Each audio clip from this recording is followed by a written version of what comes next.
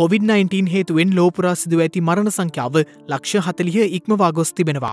ඒ ගත වූ පැවිසි හතර තුළ ලෝපුරා රටවල් තුළින් නවමරණ හයිදහස් දෙසිය දාහතක් වාර්තාවීමත් සමගයි. කොවිඩ් වසංගතය ඇරඹි දෙදහස් දහනවේ වසරේ දෙසැම්බර් මස සිට මේ දක්වා කොවිඩ් ආසාධනයවීමෙන් පුද්ගලයන් හතලිස් ලක්ෂ අටසිය අසූ හතර දෙනෙකු මිය ගොස් තිබෙනවා.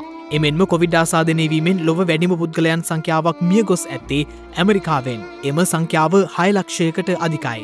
එසේම දෙවනුවට වාර්තා වන්නේ බ්‍රසීලයෙන් වන අතර එම සංඛ්‍යාව පන්ලක්ෂයකට අධිකයි. අසල් වැසි ඉන්දියාව ලොව වැඩිම කොවිඩ් මරණ සිදුව ඇති රටවල් අයිස්තුවේ තුන්වැනි ස්ථානයේ සිටින අතර මරණ සංඛ්‍යාව හාරලක්ෂයේ ඉක්මවාගොස් තිබෙනවා.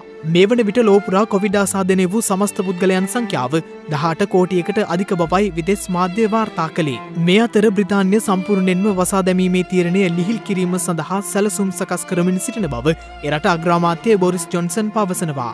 ඒ අනුව ලබන දහනම වනදා සිට දැනට පවතින සංචරණ සීමාවන් ලිහිල් කිරීම සම්බන්ධයෙන් සලකා බලමින් සිටින බවයි අග්‍රාමාත්‍යවරයා සඳහන් කර ඇත්තේ. කෙසේ වෙතත් සෞඛ්‍ය මාර්ගෝපදේශ ඉදිරියටත් අනුගමනය කළ යුතු බවද බ්‍රතාන්‍යයේ අගමැතිවරයා පෙන්වාදී තිබෙනවා.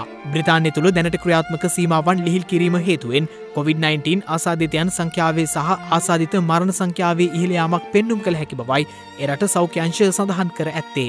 කෙසේ වෙතත් එන්නත් කරන වැඩ පිළිවෙල යටතේ එය පාලනය කරගත හැකිවනු ඇති බවට අපේක්ෂා කරන බවද ඔවුන් අවධාරණය කර තිබෙනවා. මේ අතර ජර්මණය විසින් රටවල් කිහිපයකට පනවා තිබූ සංචාරක තහනම හෙට සිට ඉවත් කිරීමටද තීරණය කර තිබෙනවා. ඒ අනුව පෘතුගාලය එංගලන්තය රුසියාව ඉන්දියාව සහ නේපාලය යන රටවල්වල සිට පැමිණෙන සංචාරකයින්ට ජර්මණයට ඇතුළුවීමට අවස්ථාව ලැබෙනු ඇති.